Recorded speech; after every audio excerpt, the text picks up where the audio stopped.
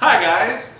We're here to teach you how to play Two-Headed Giant. It's a fun multiplayer format for Magic the Gathering. Because Two-Headed Giant is a two versus two format, your first step to playing is to find a buddy. Buddy? Oh, buddies forever. Yeah. Heck yeah. Shit. I, uh, I, I don't have a buddy. Oh, that's alright. If you're going to a two-headed giant event at your local game store, there are probably going to be people looking for partners there. Otherwise, just call up a buddy. Hey Nate, looking for a partner for 2HG? Of course I am! Nice Alright. convenient off-camera friend. Yeah. totally. you guys want to go play? Can we please? Yeah, yeah, let's, yeah, let's go. play. Yeah.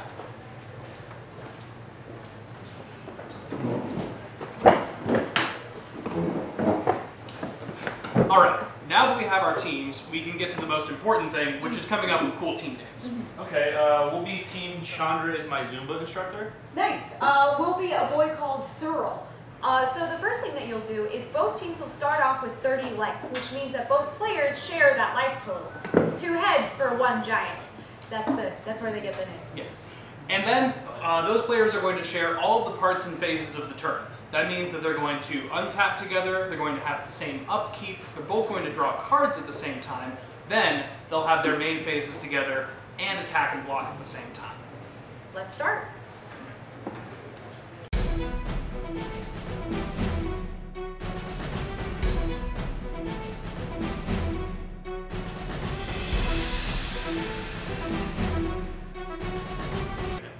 Get them. Uh, attack you guys. When a team attacks, the other team will declare their blockers as a team as well. So that means that even if I don't have any creatures when Nate and David attack, I can use my three creatures to block. and that's Teamwork. Team- However, if a creature gets through, it deals damage to a specific player. Well, that means that I can still have this Deadbridge Shaman deal three damage to Chris here. And the heavy infantry is going to deal 3 damage to Alison. So his three and my three means our team takes six damage total. And that's math.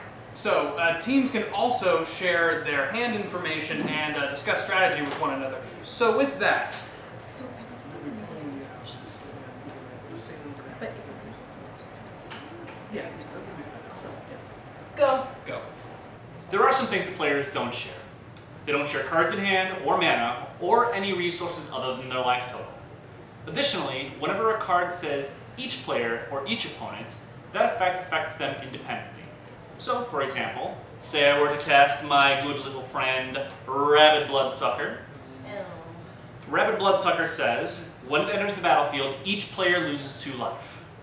In this situation, that would mean that Chris loses two and Alison loses two, so their team loses four life total, and the same is true for David and I. Other than that, each player starts with 7 cards, as normal. Then, when players are deciding their mulligans, each player gets one free mulligan. So their first mulligan leaves them with seven cards. Second leaves them with six, then five, and so on. And if either player can't draw a card from their deck, that team loses. It's going to be us. It's going to be us. Hmm. But yeah, that's how you play two-headed giant. Grab some friends, grab some food, Oh. Oh. Thanks. and play. I'm uh, definitely attacking nachos. Go for it. It resolves.